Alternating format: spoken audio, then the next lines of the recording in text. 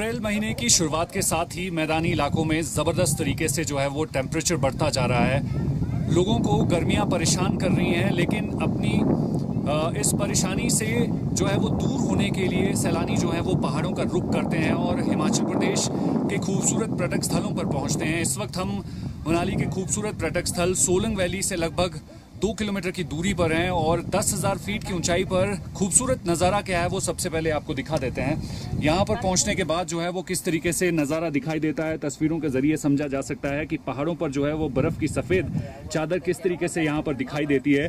ये रोहतांग पास का इलाका है, हालाँकि रोहतांग पास अभी सैलानियों के लिए खुला नहीं है, उसके लिए इंतज़ार करना पड़ेगा, लेकिन यहाँ पर दस फीट पर पहुँचने के बाद जो है वो सैलानी काफ़ी, जो है वो खुशनुमा मौसम का मज़ा ले रहे हैं। यहाँ पर कुछ एक सैलानी जो है, यहाँ पर पहुँचे हुए हैं। पूछ लेते हैं कि ये लोग कहाँ से हैं। मैम कहाँ से हैं? क्या नाम है आपका? बॉम्बे बोरीवली।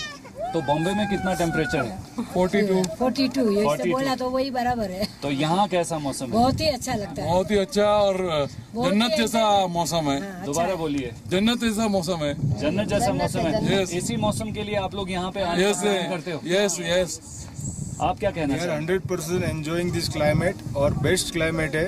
बॉम्बे में जो गर्मी है जो सफोकेशन है उससे काफ़ी राहत मिल गई हमको। नेचुरल में है नेचुरल मैम किस तरीके से देखते हैं कि अप्रैल महीने से जो है वो आपके शहर या दूसरे शहरों में जो है लोगों को परेशान करना जो है ये गर्मी शुरू कर देती है?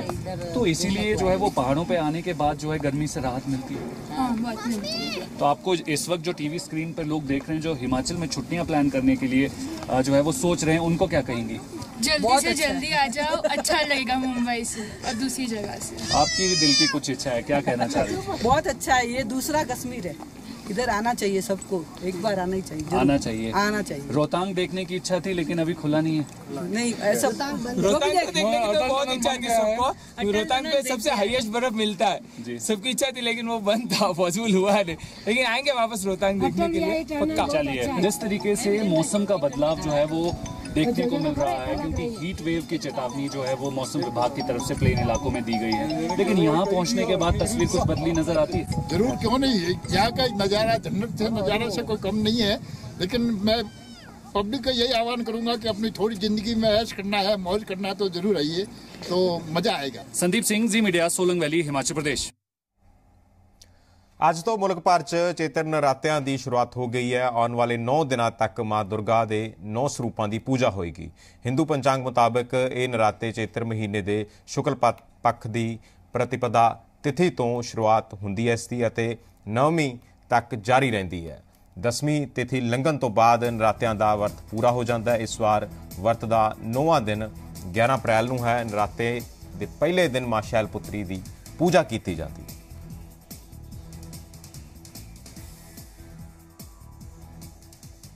ਸੋ ਦੱਸ ਦਈਏ ਕਿ ਅੱਜ ਨਰਾਤਿਆਂ ਦੀ ਸ਼ੁਰੂਆਤ ਹੋ ਚੁੱਕੀ ਹੈ।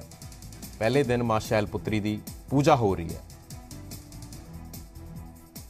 ਸੋ ਵੱਖ-ਵੱਖ ਥਾਵਾਂ ਤੇ ਸ਼ਰਧਾਲੂ ਮੰਦਰਾਂ 'ਚ ਮੱਥਾ ਟੇਕ ਰਹੇ ਨੇ ਤੇ ਮਾਤਾ ਦਾ ਆਸ਼ੀਰਵਾਦ ਪ੍ਰਾਪਤ ਕੀਤਾ ਜਾ ਰਿਹਾ। ਹੈ ਸੋ ਮਾਂ ਸ਼ੈਲ ਪੁੱਤਰੀ ਦੀ ਪੂਜਾ ਹੋ ਰਹੀ ਹੈ। ਨੌ ਨਰਾਤਿਆਂ ਦੇ ਦੌਰਾਨ ਵੱਖ-ਵੱਖ ਸਰੂਪਾਂ ਦੀ ਪੂਜਾ ਕੀਤੀ ਜਾਏਗੀ ਸ਼ਰਧਾਲੂਆਂ ਦੁਆਰਾ। ਸੋ ਅੱਜ ਤੋਂ ਨਰਾਤਿਆਂ ਦੀ ਸ਼ੁਰੂਆਤ ਹੋ ਚੁੱਕੀ ਹੈ। ਸੋ ਮੰਦਰਾਂ ਦੇ ਵਿੱਚ ਜੋ ਭਗਤਾਂ ਦੀ ਭੀੜ ਹੈ, ਉਹ ਲਗਾਤਾਰ ਉਮੜ ਰਹੀ ਹੈ। ਵੱਖ-ਵੱਖ ਥਾਵਾਂ ਤੇ ਮੰਦਰਾਂ 'ਚ ਜਾ ਕੇ ਪੂਜਾ ਕੀਤੀ ਜਾ ਰਹੀ ਹੈ ਸ਼ਰਧਾਲੂਆਂ ਦੁਆਰਾ। ਸੋ 9 ਦਿਨ ਵੱਖ-ਵੱਖ ਸਰੂਪਾਂ ਦੀ ਮਾਤਾ ਦੇ ਉਹਨਾਂ ਦੀ ਪੂਜਾ ਕੀਤੀ ਜਾਂਦੀ ਹੈ।